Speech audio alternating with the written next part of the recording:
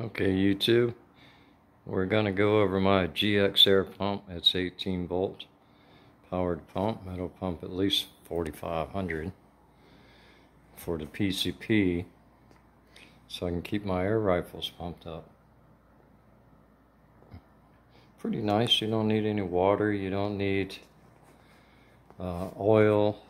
You don't need a lot of that. Maybe way later on in life of the compressor you pull this and there's another one somewhere else on here. Maybe that's the only one. Put a little grease in there. Okay you got your uh, your dial indicator your pressure gauge.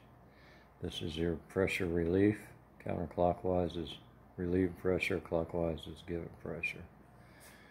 Okay so I have two different filling ways for different guns. This is an AEA and it has what they call a fill probe okay? So this end clips into the hose on the GX pump and goes into the slot right there like so okay? So you fill on the back side and you make sure that it's just flush the piece. But you want to put it in before before you uh, well, you want to hook it up before you put it on. That's what I'm trying to say. Okay, so my Air Force gun, that's my Air Force Talon P carbine. That's the power wheel to it. Let's see, I got it set on power 5 and I'm shooting 20 port 20.4 grain pellets. That's the moderator or what you would call a silencer. Okay. It has a gamma red dot.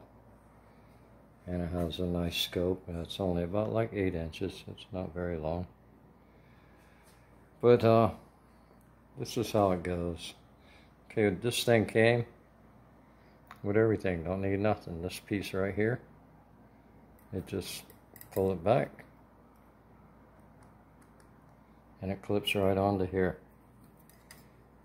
Pull this rubber cap up and there's a nipple underneath, see it? Right there. Okay, so this just plugs onto there like that. Oops, it's hard to do it with uh, hands full. Okay, so it's locked on.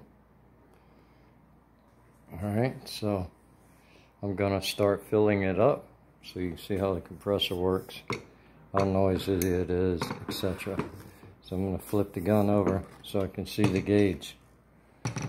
Just lay it right there like that. There you go. That's the gauge I already have. Let's see. Can't really see it from this. But there you go. around 2,000 in it. I want to keep it at 3,000. You can keep these things filled up according to the owner's manual at maximum, whatever it fills. Mine's 3000 or 250 bar. Indefinitely. You can leave it loaded or well full air indefinitely. So, that's a good thing. That's a real good thing, made in the U.S. Alright, so I'm going to turn this thing on. The switch is on the back. It usually doesn't take more than four minutes, okay? So, I want to make sure is my pressure is off, right? Okay, so I want to go back here and push the on. There we go. Bad.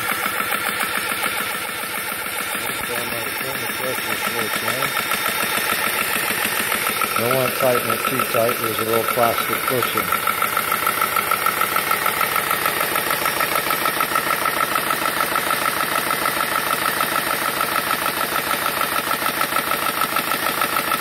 Probably take three minutes to pump that up.